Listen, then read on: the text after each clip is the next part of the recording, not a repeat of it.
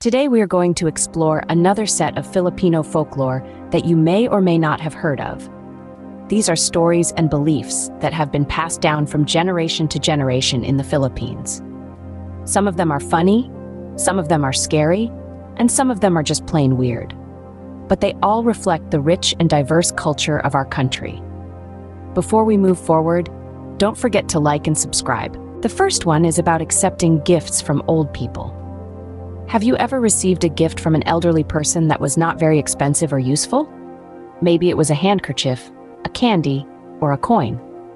Well, according to Filipino folklore, you should never refuse or reject such gifts. Why? Because if you do, you will have poor eyesight.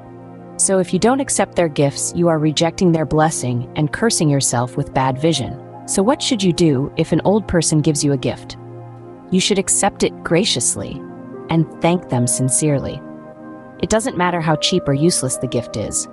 What matters is the thoughtfulness and generosity of the giver. By showing your appreciation and respect, you are honoring their wisdom and experience. So next time an old person gives you a gift, don't hesitate to accept it and say thank you. You never know when it might save your eyesight. That's all for today's video. I hope you enjoyed learning about this Filipino folklore.